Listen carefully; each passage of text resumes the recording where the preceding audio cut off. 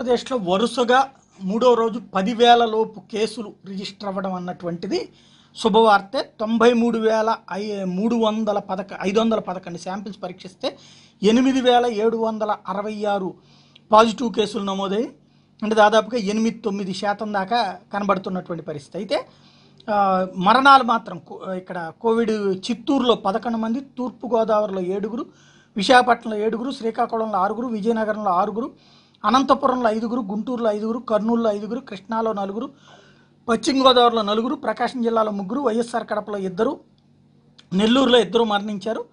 ఇక్కడ రికవరీల పరంగా భారీగా ఎక్కువగానే ఉంది. ఇందులో పన్నెండు వేల రెండు వందల తొంభై రెండు మంది కోవిడ్ నుంచి కోలుకున్నారు. అంటే దాదాపు తొ- మూడు వేల మంది దాకా కూడా ఎక్స్ట్రా కోలుకున్నట్టు.